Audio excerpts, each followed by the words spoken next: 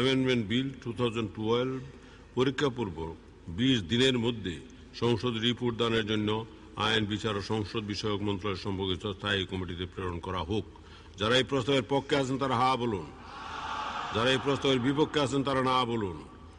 হা জয়যুক্ত হয়েছে, হা জয়যুক্ত হয়েছে, হা জয়যুক্ত হচ্ছে অতএব বিলটি আইন, বিচার ও সংসদ বিষয়ক মন্ত্রণালয় সম্পর্কিত স্থায়ী কমিটিতে প্রেরিত হলো।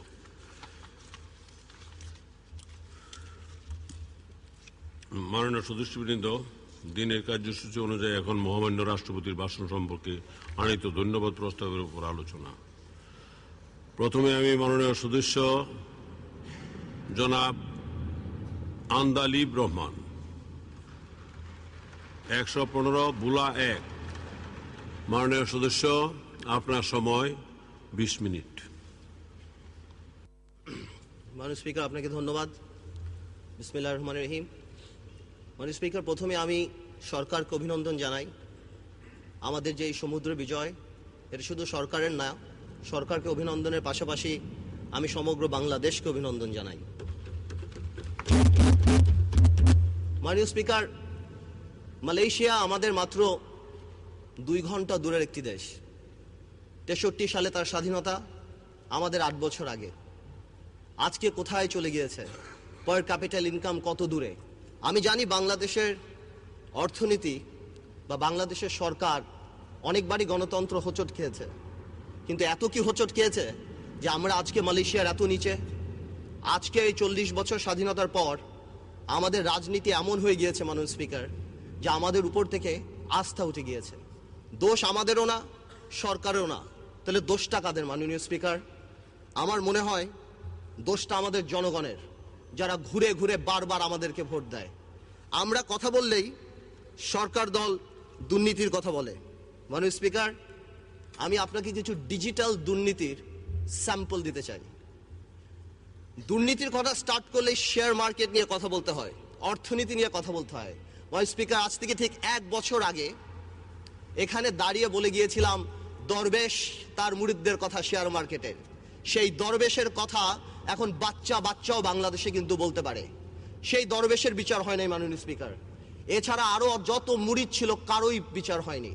মাননীয় স্পিকার, গতবার তো বলে গিয়েছিলাম, শেয়ার মার্কেটে জড়িত কারা ছিল? এখন সময় এসেছে হালকা করে বলার কীভাবে শেয়ার মার্কেটের ঘটনাটা ঘটানো হলো। দু হাজার সালের সেপ্টেম্বরে সিডিবিএল দেখলেই বোঝা যায় জেড ক্যাটাগরি নামে কোন কোন কোম্পানিগুলি তাদের টাকাগুলি বের করে ফেলেছে। আমার কাছে এখানে আটটা কোম্পানির নাম আছে যারা এক হাজার আটশো কোটি টাকা উঠিয়েছে। এখানে আরও ছাব্বিশটা কোম্পানির নাম আছে যারা এক হাজার নয়শো কোটি টাকা উঠিয়েছে। এখানে আরও আছে যারা দুই হাজার কোটি টাকা উঠিয়েছে। মানে স্পিকার, সংসদ বা আমাদের গভর্নমেন্ট থেকে, সরকার থেকে বলা হলো রেগুলেটর লাগানো হলো, এটা লাগানো হলো, অনেক কিছুই দেখেছি আমরা। পরে আবার সিসিটিভি ক্যামেরাও লাগানো হলো। এই টিভি ক্যামেরাগুলি যদি এই কালপিটদের বাড়ির সামনে লাগানো হতো, তাহলে দেখা যেত এই টাকাগুলি কোথায় গিয়েছে মাননীয় স্পিকার। মাননীয় স্পিকার, একটা ইনভেস্টিগেশন কমিটি করা হলো, সেটা রিপোর্ট দেওয়া হলো। অর্থমন্ত্রী সুন্দর করে বললেন these are mafia we cannot speak what a disgrace for the country যে আমাদের অর্থমন্ত্রী বলে যে দিজ আর মাফিয়া শেয়ার মার্কেটের আরও কিছু ঘটনা আপনাকে বলতে চাই। কয়েকদিন আগে পেপারে দেখলাম আমাদের বাংলাদেশ ব্যাংকের গভর্নর, কি নাম? ডক্টর আতিয়া তাকে ইন্দিরা গান্ধী অ্যাওয়ার্ড দেওয়া হচ্ছে। তাকে তো ধ্বংসাত্মক অ্যাওয়ার্ড দেওয়া উচিত শেয়ার মার্কেট ধ্বংস করার জন্য। যখন তিনি দেখলেন, যখন তিনি দেখলেন যে forty percent to thirty percent investment bank করে ফেলেছে, তিনি যে বুঝালেন, আগে থেকে অর্থমন্ত্রী যিনি অন রিপিটেড ফ্যাশন আগেও বলেছে, আমি শেয়ার মার্কেট বুঝি না। তাদেরকে নিয়ে শুধুমাত্র ওয়ার্ল্ড ব্যাংক আর আইএমএফ কে খুশি করার জন্য চাকরির শেষে ভবিষ্যতে অন্য চাকরি পাওয়ার জন্য কি বলা হলো? Bank must withdraw the money মানে স্পিকার দুইশো কিলোমিটার স্পিডের একটা গাড়ি যদি আপনি হঠাৎ ব্রেক করেন, তাহলে কি হবে? যাত্রীরা নিহত হবে। এই বাংলাদেশের ব্যাংকের কিছু ব্যবসায়িক শকুনরা আর তাদের আশেপাশের কিছু ব্যবসায়ীরা এই শেয়ার মার্কেট থেকে টাকাটা নিয়ে আরম্ভ করল। আমার শেয়ার মার্কেটটা ভেঙে চূর্ণ বিচ্ছিন্ন হয়ে গেল। বাংলাদেশের মিডল ক্লাস ফ্যামিলি ধ্বংস হয়ে গেল মাননীয় স্পিকার। মাননীয় প্রধানমন্ত্রী উদ্যোগ নিলেন। এই দরবেশকে আবার সেই সিটে বসালেন। আমার মনে আছে আমি ছিলাম না সংসদে, তবে সুরঞ্জিত সুন- গুপ্ত সাহেব বলেছিলেন, কি জানি ভূত শস্যের মধ্যে ভূত থাকা। দরবেশও কিছু করতে পারল না, বিভিন্ন ব্যাংকের সাথে কথা বললেন, বলল নাকি কিছু টাকা দিবে। কোনো প্রাইভেট ব্যাংকের মালিক একটা টাকাও দিল না এই শেয়ার মার্কেটে। মাননীয় স্পিকার, এমনও দেখা গিয়েছে, অনেক ব্যাংকের মালিকরা তারা ডাইরেক্ট ব্রোকারেজ হাউসে এই টাকাটা নিয়ে গিয়েছে। এটা বাংলাদেশের সবচেয়ে বড় করাপশন এই ইতিহাস হয়ে থাকবে। আমি একটা কথা বলতে চাই, সরকারের উচিত কোনো আইন পাশ করে রেট্রোস্পেক্টিভ এফেক্ট দিয়ে এই শেয়ার মার্কেটের কালপিটদের বিচার করা, অথবা এমন কোনো আইন করা যাতে আগামীতে শেয়ার মার্কেটে কেউ কোনো ধরনের, এই ধরনের ফাঁস না করতে পারে। মাননীয় স্পিকার এক কোটি লোক রাস্তা এফেক্টেড বাংলাদেশের মানুষের কাছে এই হাতে গোনা কয়টা টাকাই তো তাদের সোশ্যাল ইম্প্যাক্ট তাদের সোশ্যাল রেসপেক্ট ভদ্র যার, যাদেরকে আপনি দেখেন মাননীয় স্পিকার রাস্তায় দাঁড়িয়ে শেয়ার মার্কেটের জন্য চিল্লাচিল্লি করছে, তারা কিন্তু সর্বস্ব হারিয়েছে। আরও অনেক লোক আছে, আরও অনেক মা বোনের আছে, আরও অনেক মিশনে আমার আর্মি অফিসাররা আছে, আরও অনেক পুলিশের কর্মচারী আছে, সরকারি কর্মচারী আছে, যারা রাস্তায় লজ্জায় বের হতে পারে না। আরেকটা ঘটনা বলতে হয়, বিদ্যুৎ। এই সরকার ক্ষমতা আসার পর অফকোর্স তাদের নির্বাচনী ম্যানিফেস্টো ছিল, অনেক বিদ্যুৎ দিবে। আই এম শিওর আমি থ্যাংক আমি I want to personally thank যে আমরা অনেক এফর্ট কাগজপত্রে দেখেছি। কিন্তু প্রথম এক বছর নাড়া চাড়া করে কিছুই কিন্তু করতে পারে না এই সরকার। এই সরকার তাদের পছন্দ মতো কিছু লোককে বিদ্যুৎ প্ল্যান দিতে গিয়ে অনেক ভালো ভালো কোস্টাল সাবা থেকে আরম্ভ করে অনেক কোম্পানিকে বিদ্যুৎ দেয় নাই। একটা কৃত্রিম প্রবলেম এই দেশে বিদ্যুতের দাঁড়িয়েছে কিন্তু। তারপর ইনডেমনিটি পাশ করে কি করা হলো? আনসলিটেড আনসলিসিটেড বিদ্যুৎ প্ল্যান দেওয়া হবে।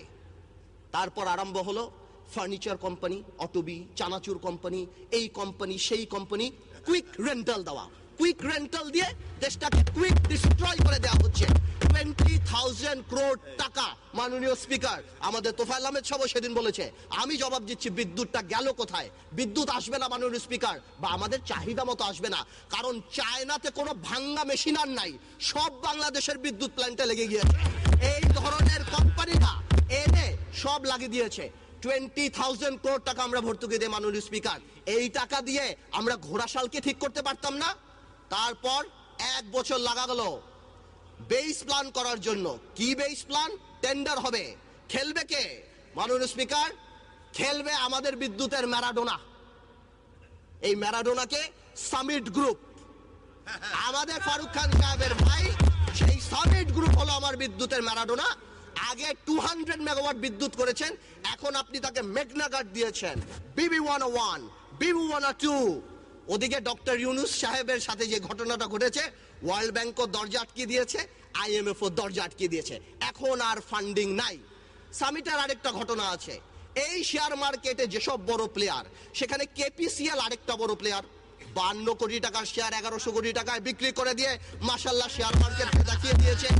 সুতরাং সামিটের ইন্টেনশন ছিল এই এক হাজার মেগাওয়াট বিদ্যুৎ দিয়ে ওয়ান বিলিয়ন ডলার উঠিয়ে আমরা আবার শেয়ার মার্কেটে যাব। আমরা আবার বিশ হাজার কোটি টাকা বের করব বাট ফর্চুনেটলি আনফর্চুনেটলি শেয়ার মার্কেটে এই খেলা খেলতে পারে নাই। সামিট তাই কি করল? তাই তারা পারফরমেন্স গ্যারান্টি দেয় না পিডিবির সাথে কন্ট্রাক্ট সাইন করে না।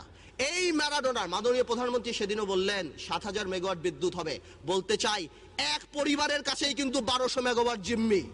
এইবার আসলো আরেকজন, এর নাম আমরা দিয়েছি বিদ্যুতে মেসি। ইনি হলো, জি, মেসি। ইনি হলো ওরিয়ন গ্রুপ। বারোশো মেগাওয়াট বিদ্যুৎ দিয়েছে। একটা কোম্পানিকে সামিটকে দিল বারোশো, ওরিয়নকে দিল বারোশো। বাংলাদেশের পাঁচ হাজারের চব্বিশশো এই দুই পরিবারের হাতে। তার মানে কি? আমার দেশের অর্থনীতি, আমার দেশের স্বপ্ন, সবকিছু দুইটা পরিবারের কাছে জিম্মি। আর চুরি নাকি খালি আমরা করি। কথায় কথায় দুর্নীতি আমরা করি। এরা এমন কোন ম্যারাডোনা, এমন কোন মেসি? কেন? আমরা বিশ টাকা, বিশ হাজার কোটি টাকা ভর্তুকি, দশ হাজার কোটি টাকা ঘোষাল ঠিক করতে পারতাম না। আমাদেরকে পৃথিবীর ছয়শো, সাতশো মেগাওয়াট নষ্ট হয়ে যাচ্ছে। আমি আবার জিনিস দেখলাম ইনসিডেন্টলি বা কোইন্সিডেন্টলি বিদ্যুৎ মন্ত্রণালয়ের সাথে আবার বিমান মন্ত্রণালয়ের একটা সুন্দর সম্পর্ক আছে। আমরা যেমন আমাদের নিজেদের পৃথিবীর প্ল্যানগুলি বসায় রেখে এই কুইক রেন্টালগুলি চালাই, বিমান মন্ত্রণালয় দেখি আমাদের প্লেনগুলি বসে লেখে লিজার প্লেনগুলি গাড়ি চালায় যাতে করে ভালো দুই পয়সা কামাই হয়। মাননীয় স্পিকার আমি তো শুনতাম আওয়ামী লীগ গরিবের সরকার জনসাধারণের সরকার ছোটবেলা থেকেই শুনে এসেছি। মাননীয় স্পিকার এখন দেখি আওয়ামী লীগ ব্যাংকারদের সরকার। কই বাবা? হ্যাঁ, এই যে রাজনৈতিক বিবেচনায় নতুন ব্যাংক। স্পিকার মাননীয় প্রধানমন্ত্রী অনেকবার বলছে, আমার এমপি মন্ত্রীদের টাকা পয়সা জমা দিতে হবে, কে কত টাকার মালিক, তথ্য, অধিকার, এটা, সেটা, কিন্তু আমরা পাইনি। বাট আমি কষ্ট করে ইলেকশনের হলফনামা থেকে বের করে নিয়ে আসছি। সবগুলি বলব না। ফার্মার্স ব্যাংক আমাদের অনারেবল মেম্বার অফ পার্লামেন্ট আচ্ছা নাম বললাম না। ফার্মার্স ব্যাংক ব্যাংক করতে মানুষ থেকে আপনাকে জানাই, চারশো কোটি টাকা লাগে। চারের পর নয়টা শূন্য। এবং একটা ডাইরেক্টরের পঁয়ত্রিশ কোটি টাকা। ফার্মার্স ব্যাংক যিনি করলেন, ইলেকশনের হলফনামায় উনচল্লিশ লক্ষ টাকার মালিক। মেঘনা ব্যাংকে করলেন, কোটি বাটি মিলে সাতাইশ লাখ টাকার মালিক। ফেডারেল ব্যাংক যিনি করলেন, কোটি বাটি মিলিয়ে এক কোটি না দেড় কোটি টাকার মালিক। দুর্নীতি নাকি আমরা করি? ইয়া খোদা। আমার কথা কি, দুর্নীতি অনেকেই করে, লুকায়া টুকায়া করে। কিন্তু এইটা কি দুর্নীতি? খুললাম খুল্লা দুর্নীতি।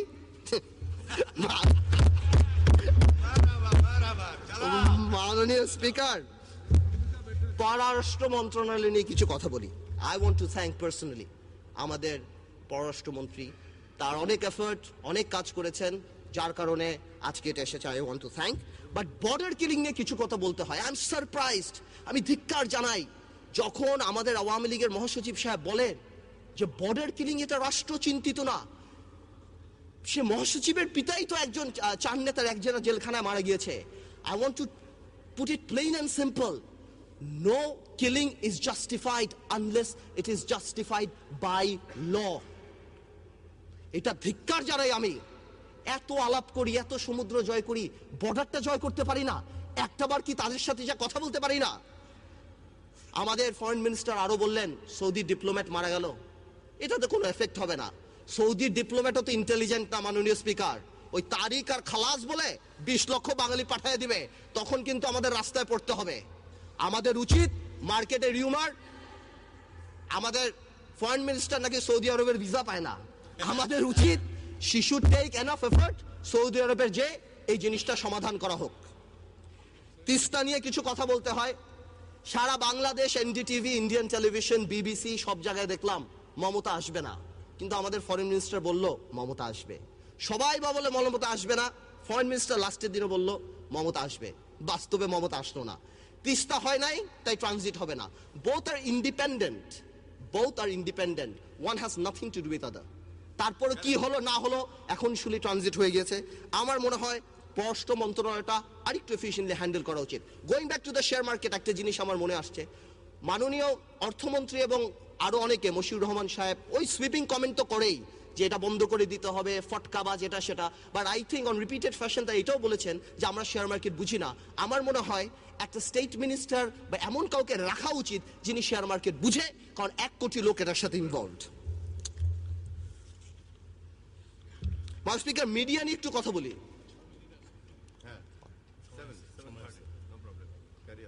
মিডিয়া নিয়ে একটু কথা বলি মানুষ স্পিকার আমাদের মিডিয়ার ব্যাপারটা কথা বলেন না আমরা তো you are speaking freely I am sorry আমি আমি আমি টাইম দেখে একটু ডিস্ট্রাক্ট হয়েছে। আমাদের মিডিয়ার ব্যাপারটা একটু দেখা উচিত। মিডিয়ার উপরে একটু নেকেড ইউজারপেশন হচ্ছে। বারোই মার্চে আমরা লক্ষ্য করতে পারছি একটু নগ্ন হস্তক্ষেপ এটা ডেমোক্রেসির জন্য ভালো না।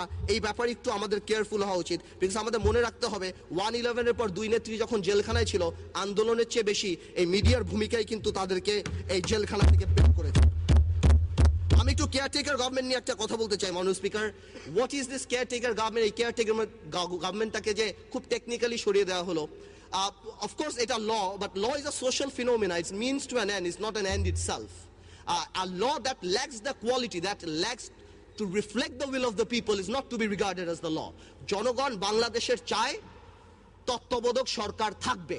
তত্ত্ববোধক সরকার ছাড়া এই দেশে ওই দুই একটা সিটি কর্পোরেশন নির্বাচনে কুমিল্লায় তিরিশ হাজার ভোট, আরেক জায়গায় এক লাখ ভোট দিয়ে আপনি সাত কোটি ভোটকে হিসাব করতে পারবেন না। বাংলাদেশে তত্ত্বাবধায়ক সরকার আনাই হয়েছিল বিকজ বড় দুইটা রাজনৈতিক দলের মাইন্ডসেট ছিল না মিউচুয়াল রেসপেক্ট ছিল না। আজকেও মিউচুয়াল রেসপেক্ট আসে নাই। পরশুদিনও আপনি পার্লামেন্টে দেখেছেন, আগামীতেও দেখতে পারবেন। সুতরাং we are not ready for an election যেটা কোনো দলীয় সরকারের অধীনে হবে। We need a caretaker government otherwise এর বাইরে যাই করা হবে এটা অ্যাকসেপ্টেড হবে না।